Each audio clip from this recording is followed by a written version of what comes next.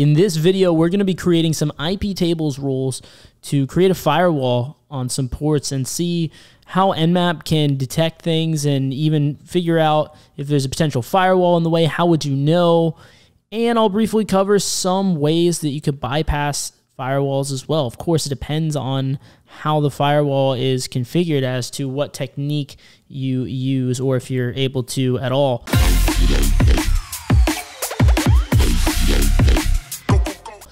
So in this case here, we will, I mean, I have already created this, but it's a firewall script that just basically runs some IP tables commands. I'll step that, step through that with you guys right now.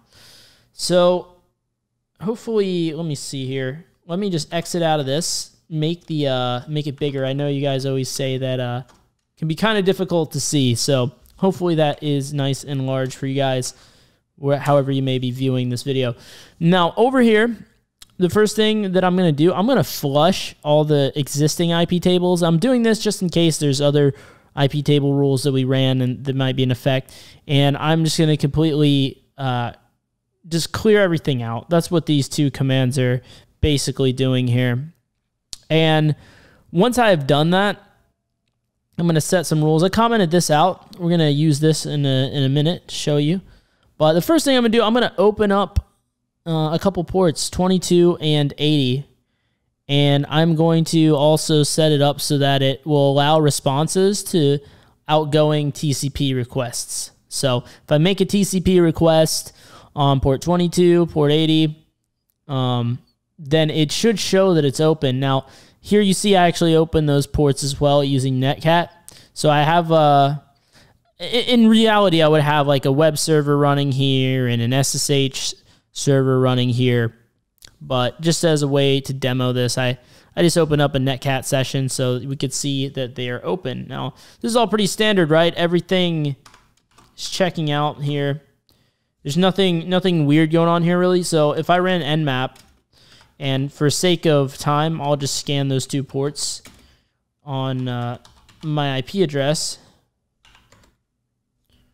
What we should see is that both of these ports are open. I'm not sure what's going on with this line here, why it's so out of sync. Oh, I guess maybe changing the uh, the size, zooming in, kind of messed with it. But yep, as we would expect here, we see that these are both open. And now also, because of the port, it's assuming, Nmap is assuming this is the service that corresponds to it. So in, in reality, that's not the case, right? It's just a netcat session. It's not actually HTTP. This is not actually SSH, but that is the prediction that it made just because of the port number. But, you know, in, in the real world, it would probably correspond to these services. But just something I want to point out. Now, here they're both open. Now, what we can actually do is we can apply an IP tables rule, IP tables rule to actually drop and thus firewall off one of these ports. Let's say, for example, we want to firewall off port 80. What we could do is go back into here and instead we can well here here we were doing multi-port so instead oops instead what I'm going to do is I'm going to delete the multi-port part. We're just going to open up port 22. We're actually going to tell it to drop anything on port 80. So I'm going to enable this rule up here. So now what's going on is there's a couple rules at play. Let's just break this down, right? IP tables dash A. Here uh, is the output. So we're saying that this actually might be incorrect here. I just noticed this is actually, let's see here. That means, yeah, anything that's uh, output over TCP to port 80, we're going to drop that. And here, anything that's coming into port 22, accept. All right. And then we'll accept uh, outgoing TCP requests. So with with these rules here, we will save it. And notice we didn't change anything here. We still have these se sessions running. So the next thing we're going to try to do, we're going to run this script first to apply. And then we're going to try and scan these again and see what results we might get back. So if we did everything correctly, we should see that it firewalling out port 80, but we're able to connect to 22 still. It shows as open. So yep, we see some errors come out here, but 22 is still open, right? And Nmap is so gracious as to give us some, a little bit extra information here. You can see uh, some operation not permitted, offending packet, and you see it shows as filtered here on port 80 and open on 22. So, how do we get around this? Well, we can try some other ways. Uh, we can actually, a lot of times, if you want to do some kind of recon here to see what's filtered, what's not, another thing you can do is a uh, an ACK scan.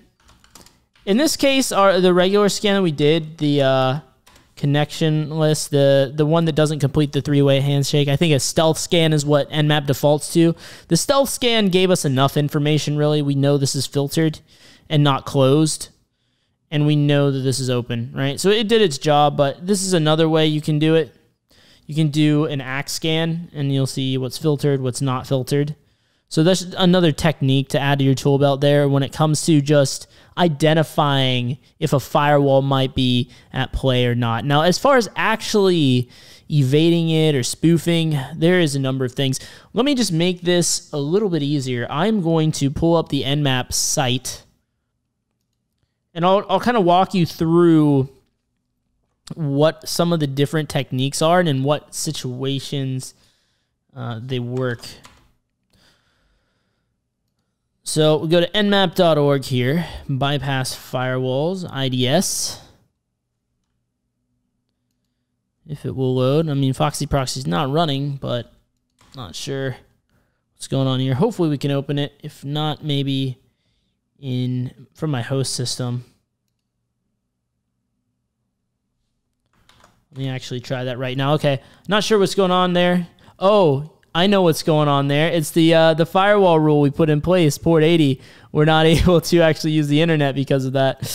So yeah, that's pretty interesting. Yeah, if you firewall uh, port 80, then yeah, you can't really use uh, the, the the web. I, I figured I didn't figure that would happen. I figured it would use 443, but uh, apparently that did break some stuff, and I think it's because of that firewall rule. Pretty interesting.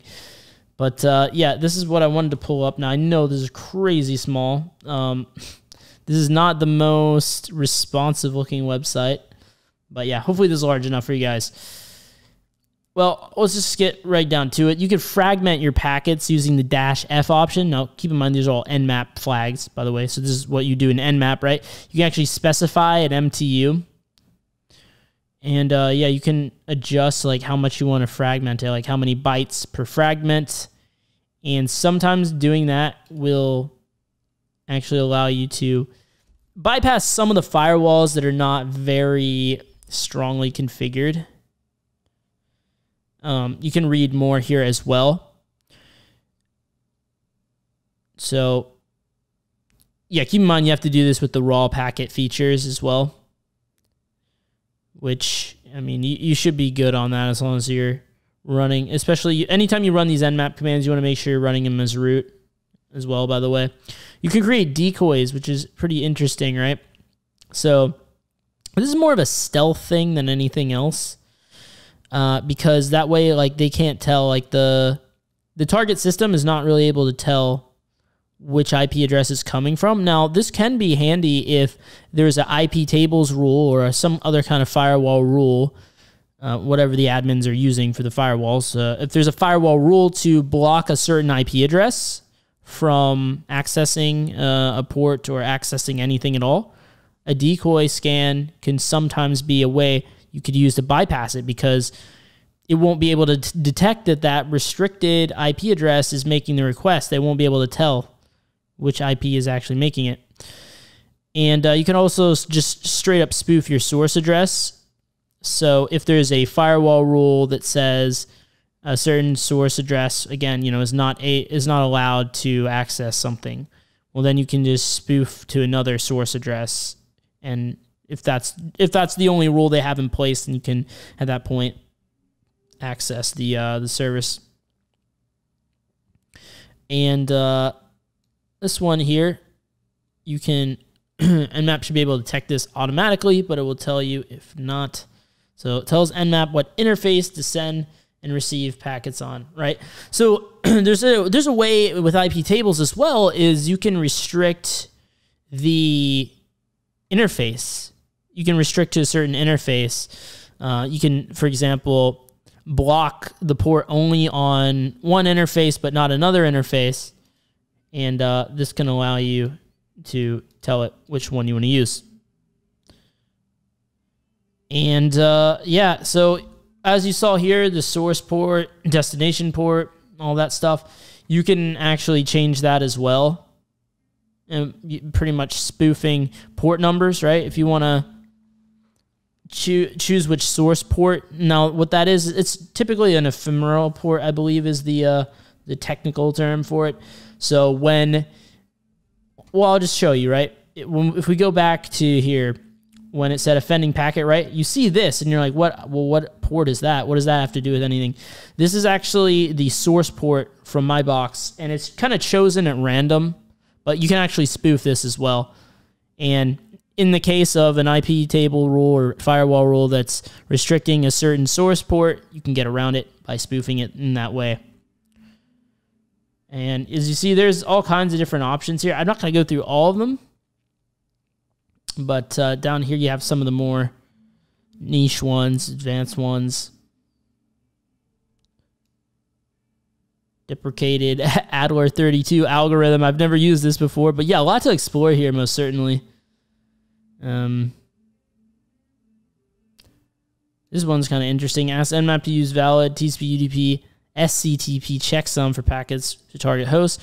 Since virtually all host IP stacks properly drop these packets, any response received are likely coming from a firewall or IDS. So this is more of like a hey, let's uh let's detect for sure. Is it the firewall in my way? What's in my way, right?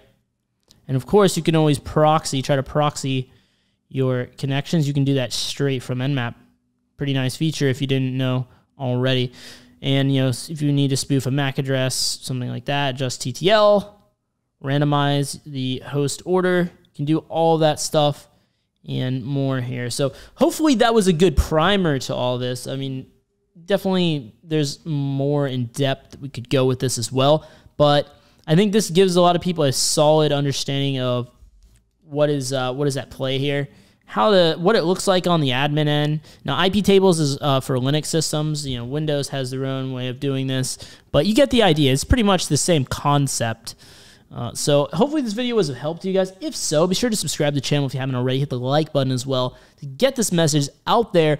And if you are really eager to get into some more content, check out my playlist, What You Need to Know for OSCP. Videos are on the screen now. And I will see you guys right over there. Thanks for watching.